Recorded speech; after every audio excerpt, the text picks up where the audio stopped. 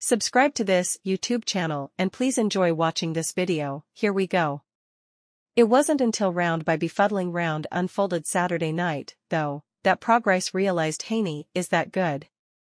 The former undisputed lightweight champion's elusiveness, hand speed, jab and ring IQ puzzled Prograis throughout their 12-round, 140-pound title fight and rendered the New Orleans native a former champion again. The faster, Rengier Haney unofficially limited Prograis to landing 38 total punches, a record low for 12-round championship matches tracked by CompuBox. A respectful Prograis praised the new WBC Super Lightweight champion, whom Prograis promised to F up throughout the promotion of their DAZN pay-per-view main event at Chase Center.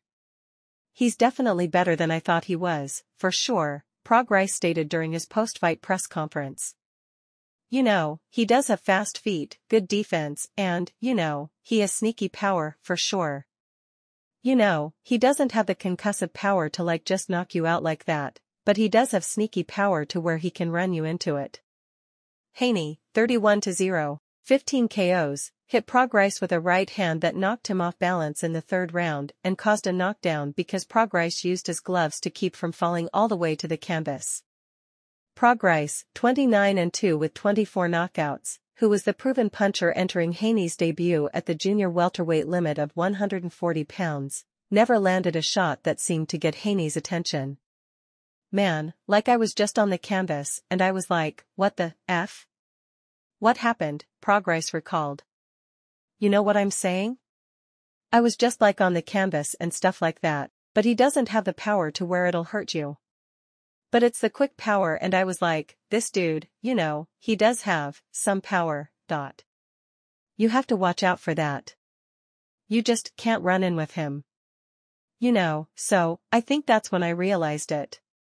Unlike some fighters, Prograis didn't offer any excuses for failing to make their fight competitive. The two-time 140-pound champion instead intends to focus on improving his skill level, particularly his footwork, when he returns to the gym in 2024.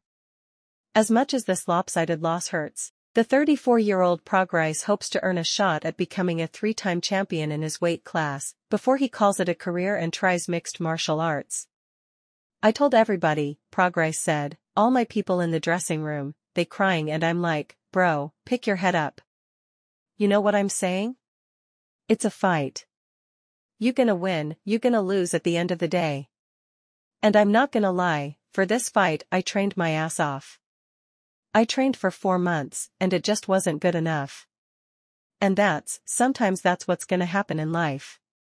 You can train, you can do everything, but it might just not be good enough. But you know what I'ma do? I'm gonna go back to the drawing board and I'ma get better. That's what I do.